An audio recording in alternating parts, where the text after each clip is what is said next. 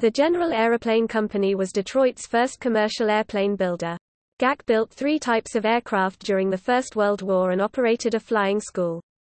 The aircraft were the Verville flying boat, the Gamma S biplane with floats floatplane, and the Gamma L biplane with wheels. All had engine installations driving pusher propellers.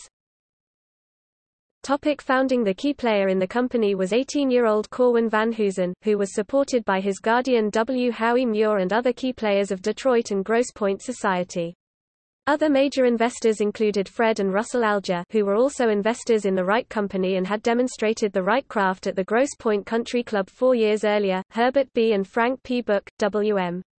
Hendry, and Jerome H. Remick. In November 1915, the GAC hired 24-year-old Alfred V. Verville, an experienced airplane designer who would be a part of Detroit's aviation activities for years to come. Design of the company's first airplane, a two-passenger biplane flying boat, was completed in December and construction of the hull was begun by the Maillet Boat and Aeroplane Works. The flying boat was flight tested during early 1916 and was advertised nationally for sale beginning in September. The U.S. Navy purchased the plane as a trainer, the first built-in Detroit airplane sold for profit. With U.S. involvement in World War I imminent, Verville began designing a military airplane, the Gamma. By November 1916, the prototype, a pusher-type plane with the engine and propeller behind the crew, was fitted with seaplane floats and test flown from its base on the Detroit River.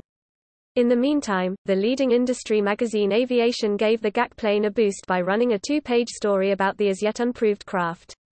For the winter the Gamma was fitted with wheels to replace the floats. On its maiden flight from frozen Lake St. Clair, a wind blew the Gamma into a snow bank, and it crashed.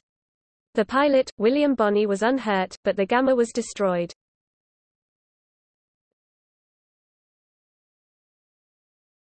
Topic. Dissolution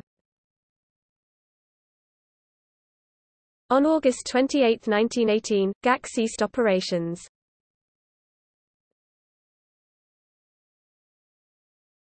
Topic: Aircraft.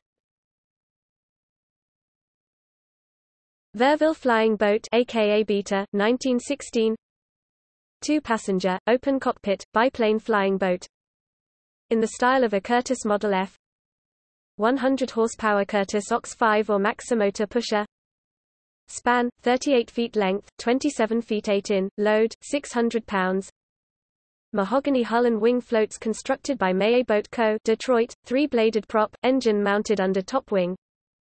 The Navy purchased the plane for use as a trainer. Two more similar military pushers and two twin-engine seaplanes were ordered in March 1917. Gamma S biplane with floats floatplane a two-seater, open cockpit, flying boat, biplane with an 80 horsepower Le Rhône pusher engine Gamma L similar but with wheels. Twin floats were replaced with wheels for winter operations off the ice of Lake Street. Clair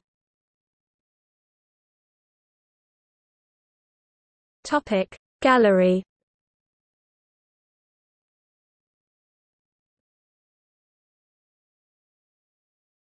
Topic See also Detroit, Michigan Alfred v. Verville